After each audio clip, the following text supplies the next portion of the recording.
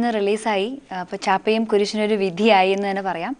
ജനങ്ങൾ എനിക്ക് തോന്നുന്നു ചാപ്പ കുരിശ് എന്തെന്നറിയാനായിട്ട് തിയേറ്ററുകളിലേക്ക് ജനങ്ങൾ പോകുന്നു സിനിമ കാണാൻ പോകുന്നു എന്നറിയതിൽ സന്തോഷമുണ്ട്. എനിക്ക് തോന്നുന്നു റിലീസിന് മുൻപേ തന്നെ ചർച്ച ചെയ്യപ്പെട്ട ഒരു സിനിമയാണ് ചാപ്പ കുരിശ്. എസ്പെഷ്യലി നമ്മുടെ സോഷ്യൽ